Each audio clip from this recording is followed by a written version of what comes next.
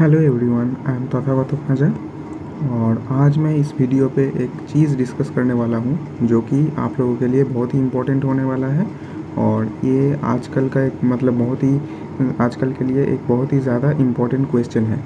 क्योंकि आ, मतलब बारह सितंबर को तो नीट हो चुका है नीट का एग्ज़ाम तो उसके बाद मतलब जो आंसर की है जो रिनाउंड कोचिंग इंस्टीट्यूट्स निकालते हैं तो उनमें से बहुत सारे लोगों ने अपना आंसर की चेक भी कर लिया होगा। और अपना स्कोर भी मतलब थोड़ा सा मतलब प्लस माइनस ट्वेंटी या प्लस माइनस टेन के हिसाब से अपना स्कोर गेस भी कर लिया होगा। और मतलब बहुत सारे यूट्यूब में जो कट ऑफ़ का प्रिडिक्शन है, उससे मतलब एक आप प्रिडिक्ट कर कर भी लिए होंगे कि आप इस बार मतलब सेफ़ जोन में है या नहीं है।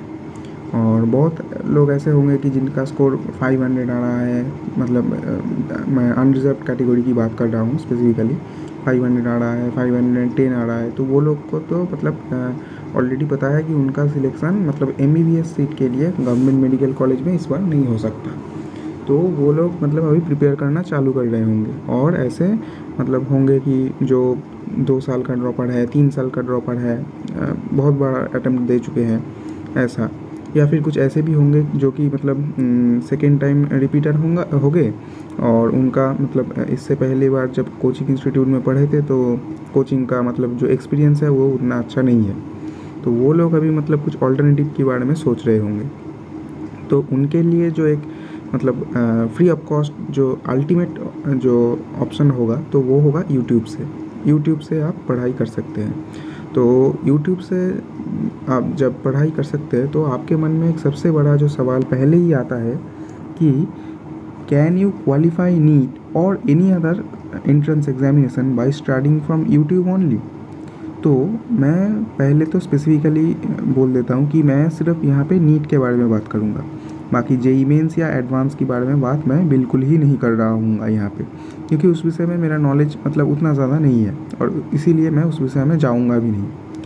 और अगर आप नीट के बारे में बात करें तो my answer will be yes you can तो वही मैंने यहाँ पे एक छोटा सा मतलब हैंड रिटन पी के फॉर्मेट में लाया हूँ। तो उस पीडीएफ से मैं आपको मतलब चीज़ें समझाने वाला हूँ कि can you qualify NEET by starting from YouTube only the answer is yes तो आप में से बहुत सारे लोग आप बोलेंगे कि कैसे यस मतलब आ, इतना क्या आसान है? जी नहीं आसान तो बिल्कुल ही नहीं है। क्योंकि अगर आपको यूट्यूब से स्टडी करना है तो पहली बात तो आपको बहुत ही ज़्यादा डिसिप्लिन होना होगा और आपको मतलब अगर आप अपने स्टडी के बारे में बहुत ही ज़्यादा सीरियस है, आप डेडिकेटेड है एकदम कि मुझे नहीं नहीं, मुझे इस बार फोड़ना है। मैं बहुत बार, पिछली बार मेरा कोचिंग में गया, बहुत टाइम वेस्ट होगा, या फिर फिर से अगर कोचिंग में जाऊँगा तो फिर से बहुत टाइम वेस्ट होगा। मैं कोचिंग में नहीं जाऊँगा, इस बार घर में बैठ के एकदम मस्त पढ़ाई करेंगे और इस बार फोड़ के रहेंगे।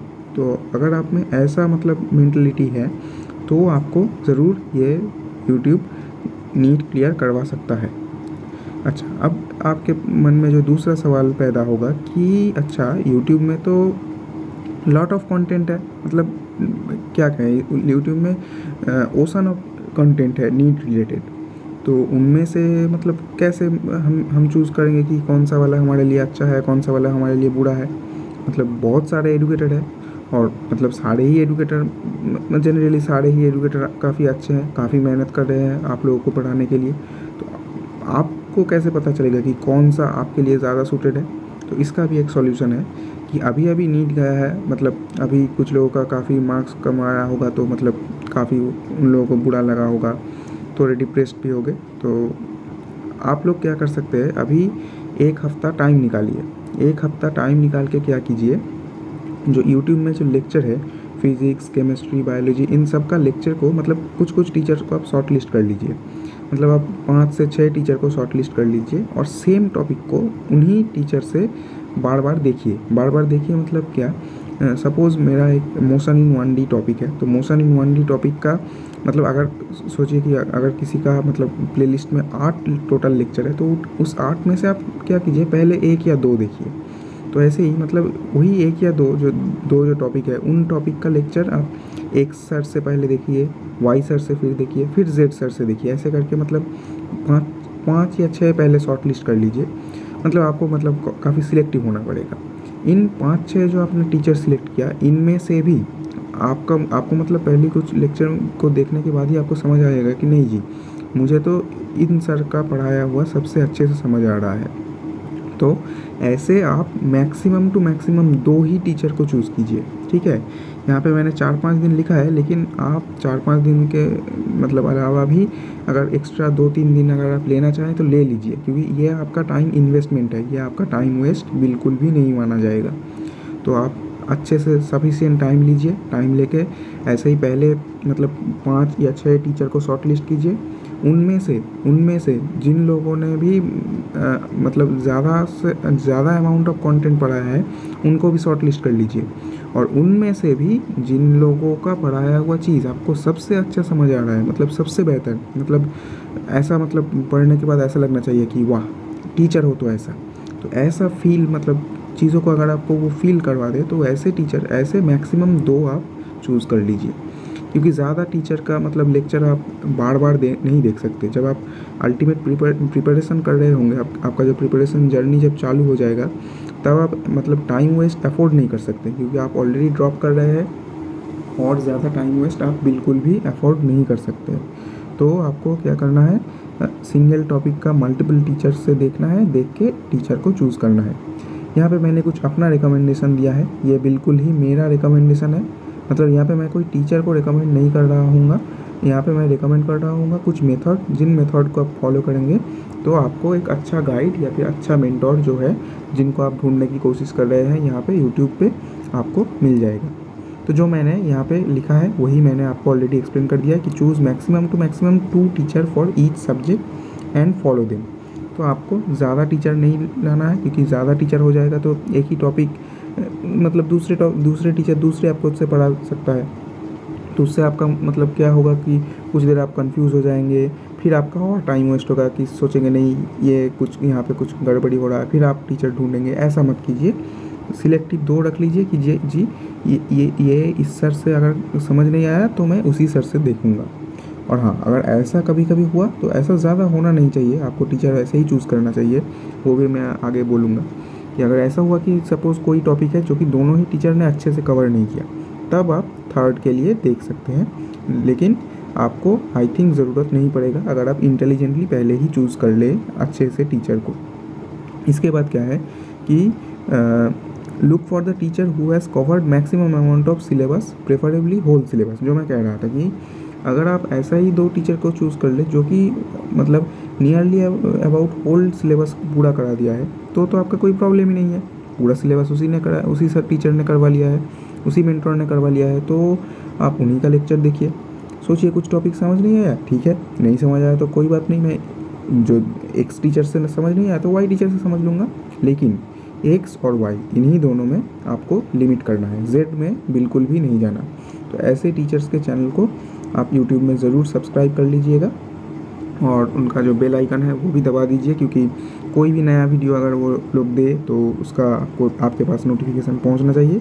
बाकी जो भी फालतू की चीज़ मतलब फालतू की चीज़ में आपका यूट्यूब में सब्सक्रिप्शन किया हुआ है, वो अगर आप चाहे तो हटा दें। क्योंकि ये आपको डिस्ट्रैक्शन से बचाने के लिए हेल्प करेगा। क्योंकि यूट्यूब में क्या होता है कि आप लोगों ने बहुत सारे चैनल सब्सक्राइब करके रखा होगा, और हर एक चैनल का अगर बेल आइकन दबा दें तो उनका नोटिफिकेशन आके आके आपका बहुत मतलब टाइम वेस्ट करवा देगा। आप कुछ पढ़ रहे हैं एक नोटिफिकेशन आया कि आ, आ, कोई भाइंस का चैनल है तो उस भाइंस का चैनल में ये वीडियो आ गया। तो चलो देख लेते हैं बाद में पढ़ाई कर लेंगे। तो ऐसा बिल्कुल भी नहीं होना चाहिए क्योंकि अभी ये जो एक साल होगा ये एक डेढ़ साल आपको मतलब यूट्यूब से पढ़ना है मतलब यूट्यूब आपके लिए एक कोचिंग क्लासेस की तरह होना चाहिए। कोचिंग क्लासेस में आप क्या कुछ मतलब ज़्यादा शरारती वाली चीज़ें या फिर कुछ मतलब जो हँसी मज़ाक वाली चीज़ें करते हैं क्या? बिल्कुल नहीं करते हैं ना? तो यहाँ पे भी आपको नहीं करना चाहिए। यहाँ पे जो थर्ड पॉइंट है, ये बहुत इंपॉर्टेंट है कि for biology and inorganic part look for a teacher और mentor who gives you mnemonic तो बायोलॉजी और इनऑर्गेनिक के लिए अगर आप चाहें, अगर आप चाहें और अगर आपका जो मेन दो टीचर है, वो लोग नहीं दे रहे हैं तो आप यूट्यूब में कुछ ट्रिक्स वाले वीडियो होते हैं, या फिर निमोनिक वाले वीडियो होते हैं, क्योंकि इन पे इनमें आपको बहुत सारी चीज़ें याद रखना होगा, जो बायोलॉजी में मॉर्फोलॉजी या फिर जो एनिमल किंगडम प्लांट किंगडम इसमें बहुत सारे एग्ज़ाम्पल आपको रटने होते हैं, याद करने होते हैं तो उनके कुछ निमोनिक होते हैं। तो निमोनिक वाले चैनल जो है, उनको आप चाहे तो सब्सक्राइब कर सकते हैं मतलब उसमें भी आपको ज़्यादा नहीं जब ज़रूरत पड़े, आप उसको ढूंढ लिया, देख लिया ऐसा। मतलब इनको आप थर्ड टीचर के रूप में कंसिडर नहीं भी कर सकते हैं। क्योंकि ट्रिक का वीडियो तो मतलब एक टीचर सारा ट्रिक दे दिया और उस सारा ट्रिक से मुझे याद आ गया, ऐसा जनरली होता नहीं है।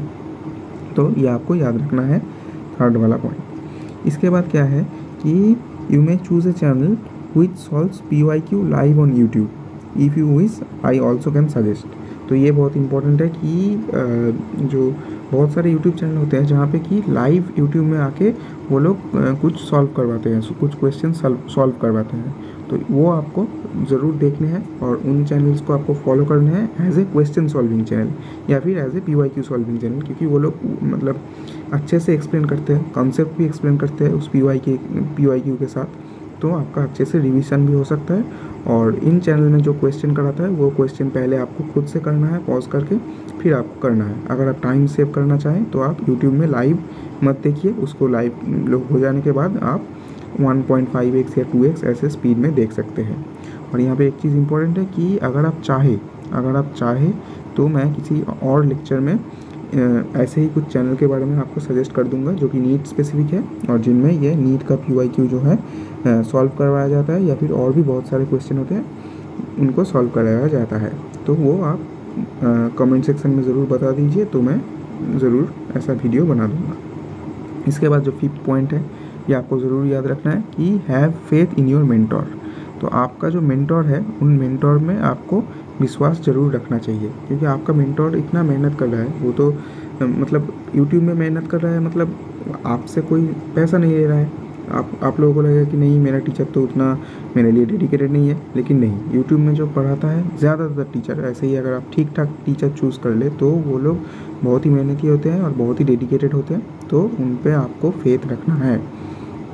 अच्छा चलिए अब हम अगले पॉइंट पर पढ़ते हैं तो अगले पॉइंट जो है for YouTube learning my recommendation will be laptop तो यहाँ पे ये जो मतलब क्वेश्चन जो आ, आ, आ रहा था वहाँ पे कि जो ऑनलाइन स्टडीज़ के लिए आपको कौन सा डिवाइस लेना चाहिए मोबाइल फ़ोन या फिर लैपटॉप तो my recommendation will be laptop क्यों? क्योंकि इसमें होता है क्या? लार्जर स्क्रीन लार्जर स्क्रीन आप मतलब आप अगर यूट्यूब में स्टडी करेंगे तो आपको दिन में तो बहुत ज़्यादा अमाउंट ऑफ़ टाइम आपको ये लैपटॉप या फिर ऐसे ही डिवाइस के मतलब आसपास रहना पड़ेगा। स्क्रीन टाइम आपका बहुत ज़्यादा होगा। तो इसलिए मतलब अगर थोड़ा बड़ा स्क्रीन मिले तो उससे क्या होता है कि आई का जो स्ट्रेन है वो थोड़ा रिड्यूस हो जाता है। But but if you couldn't afford it then mobile is also a very very good option it has very less data, data charge as compared to a broadband which will be needed for your laptop. तो आप phone से भी देख सकते हैं जैसा कि मैंने कहा। और अगर आप मुझसे खुद से पूछे तो मैंने खुद से भी मतलब फ़ोन से ही किया था। मेरे जो ऑनलाइन स्टडीज़ रिलेटेड जो चीज़ें थे या फिर यूट्यूब से मैंने इतना भी स्टडी किया है। अच्छा आप आप लोग कहेंगे कि ठीक है, सब कुछ समझ गए, लेकिन डिस्ट्रैक्शन का क्या? अगर फ़ोन में कुछ करेंगे तो उसमें तो नोटिफिकेशन आएगा डिस्ट्रैक्शन बहुत होगा, इसका क्या करें?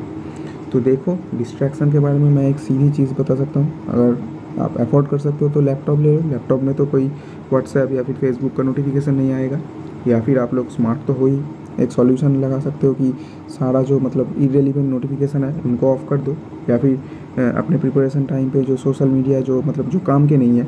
टेलीग्राम है, ठीक है, काम का है, रख दो। लेकिन जो व्हाट्सएप ठीक, फिर भी ठीक है, काम का है, रख दो।